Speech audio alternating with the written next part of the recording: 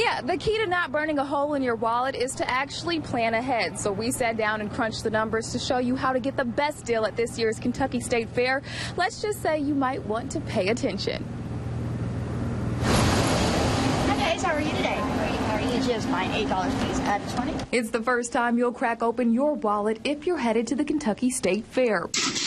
$8 to park your car on site. $8 you could have saved by parking here at the Papa John's Green Lot on the weekend instead. We just got here a little while ago and we paid for our admission and our uh, tickets to get in. This is a great option if you plan to head only to the Kentucky State Fair at a rate of $10 for adults and $6 for children and seniors. The rest took us to a total of $31.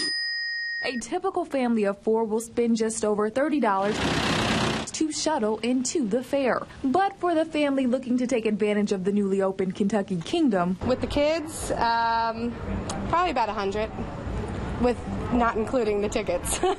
your best bet is to make a stop here first. Kroger is offering exclusive ride rates. You'd have the option of purchasing your 9.95 pay one price admission to Kentucky Kingdom, or you could buy the Carnival Midway rides and attractions, which is the 22 coupons for only $17. If you instead opt to purchase those ride tickets here at the fair, you're looking at up to double the cost. There's a 1995 ticket that you could purchase at the gate and get those same benefits of riding all of the rides. 22 Carnival Midway ride and attraction tickets up from $17 at Kroger to $25 on site. That's why we usually stick it to, you know, one time a year. After paid weekday parking, State Fair, Kroger Rate Carnival Midway, and Kentucky Kingdom admission tickets, a family of four will have spent around 100 bucks.